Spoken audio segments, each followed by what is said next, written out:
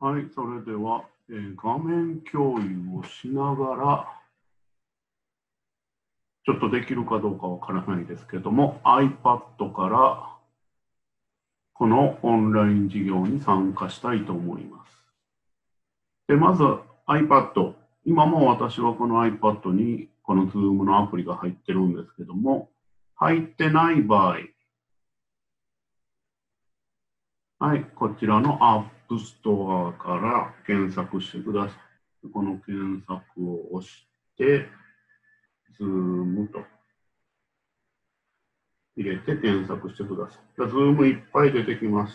いっぱい出てくるんですけれども、この一番最初に多分出てくるこの Zoom Cloud Meetings。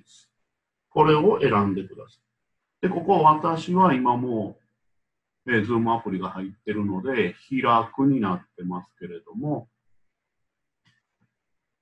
えっ、と、皆さんは初めてだったらここ入手ってなってると思います。だから入手を押して、このアプリをダウンロード、インストールしてください。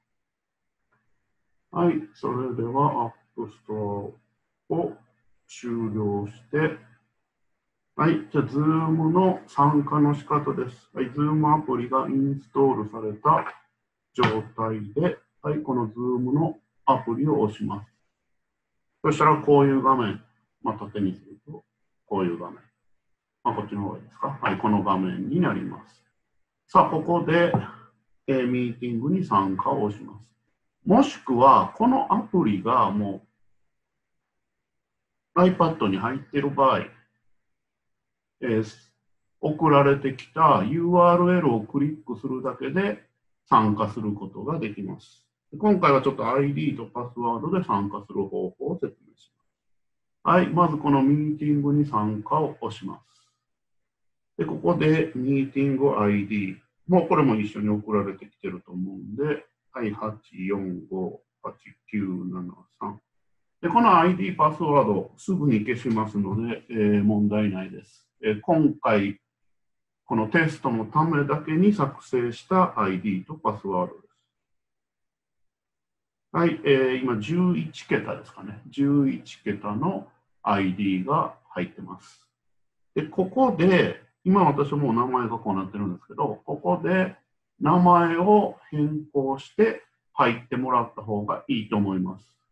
あの、その参加者、ホストの分かりやすい名前。だからこれ、えーと、生徒さんの場合は、もうひらがなでもいいので、自分の名前入れてって言ってます。ここに、えー自分の名前を入れてから参加ボタンを押すようにしてください。はい、これで参加をします。そうすると次、パスワードが求められます。で、パスワード。今6桁のパスワードを入れました。これで続行ボタンを押します。はい。そうすると、はい、これ私の顔が映ってるんですけども、ここでビデオ付きで参加か、ビデオなしで参加かを押します。はい、今回ちょっとビデオなしで参加にしましょう。そうすると、まず iPad 側がこの黒い画面です。えーミーティングのホストは間もなくミーティングへの参加を許可します。もうしばらくお待ちください。で、これスタディルームのズームミーティング。で、これが今待機室。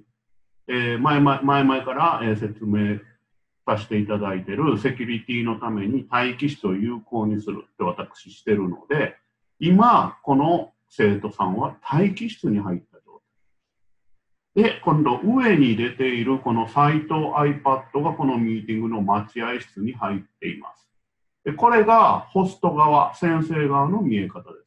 だからここにそのサイト iPad、名前が出てくるので、あの名前書いた方がいいですよっていうのはそういうことです。で、これで先生側が許可するを押すと、はい、この黒い iPad の画面がどうなるか見ておいてください。はい、許可すると、はい、これでこの授業に参加できたっていうことです。で、この授業に参加できたので、ここです。ここ気をつけてください。これで音声を聞くにはオーディオに参加してくださいで、はい、これ押します。